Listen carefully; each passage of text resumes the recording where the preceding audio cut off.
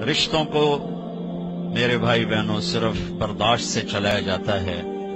रिश्तों पर मुसलत होकर रिश्ते आबाद नहीं होते। झुकना पड़ता है, सहना पड़ता है, दबना पड़ता है।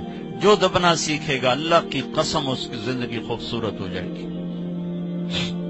इसका शक्ल सूरत से ताल्लुक नहीं, सोने चांदी जेवर से ताल्लुक नहीं। खूबसूरत अखलाक ज़िंदगी को चार चाँद लगा देते। हाँ।